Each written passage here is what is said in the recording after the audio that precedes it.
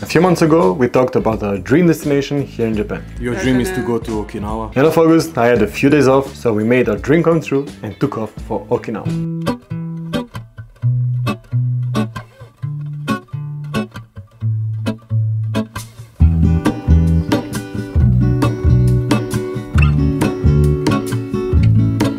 There is We going to Okinawa. in this city, hurrying to cut my teeth. Can take what I need to get by. It doesn't make it easy.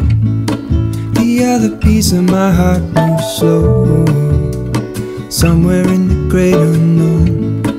When I return from the afterglow.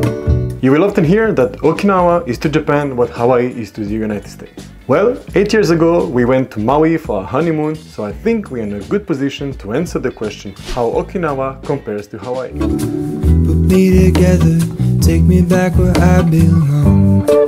I want it all. I had a feeling, but the feeling is all gone.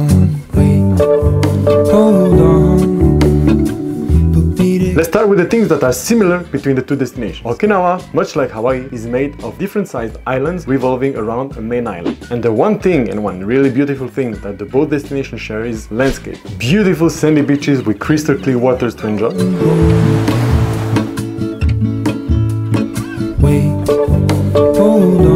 Lush green forest almost everywhere. On Maui, we wandered around the bamboo forest, whereas on Okinawa, you can see and experience so many different vegetations.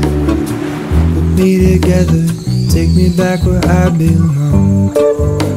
A rich animal ecosystem. I was lucky to swim with a big sea turtle while in Maui, and I also was lucky to spot another big sea turtle with my drone while flying over the waters of Okinawa. But I guess there are so much more to see than the turtles, but it's also okay to let them be and live their lives without me disturbing. Both destinations are volcanic regions, if I'm not mistaken, or if my informations are not wrong, with more than 100 active volcanoes in Japan. I didn't get the chance to see an active volcano with my own eyes, but we had the chance to experience the sunrise on the top of Mount Haleakala, topping at 3055 meters above sea level, and it was just an amazing experience. As you can see, when we speak about landscape, I could mix up footage from Hawaii or footage from Okinawa. You wouldn't be able to notice which footage belongs to. Now, regarding the differences.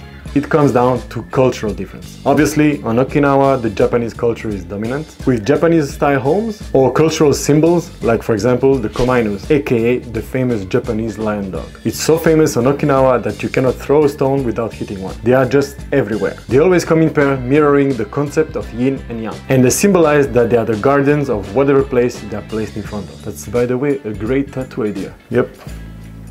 On Hawaii, you can of course see the impact of the American culture, but the native Hawaiians have their own way of living life and doing things that I love and respect. And that's the aloha spirit and all things are done this way. Not meant to harm and not meant to cause unhappiness to others. On Okinawa, they don't have the aloha spirit, but they have ikigai, which means your reason for being. Iki means life in Japanese, and gai stands for value or worth. Your ikigai is your life purpose, the reason you wake up in the morning. That's one of many reasons why on Okinawa you can find the most over 100 years old people in the world. I could do a video just on this topic, but uh, I will put a link to a National Geographic article. They explain it much better than I would ever explain it. One last big, big difference you may have noticed on Hawaii, we went as a couple, just the two of us. Of course, it was a honeymoon, but on Okinawa, we went with our three kids. So the next logical step, at least for us, is to plan a trip to go to Hawaii with our three kids. We've seen so many amazing things on Hawaii that I want them to experience, from breathtaking waterfalls to natural pools, from experiencing the sunrise on the top of a volcano to experiencing the magical road trip around the island called the Road to Hana. And of course, you cannot experience Hawaii without enjoying a hula show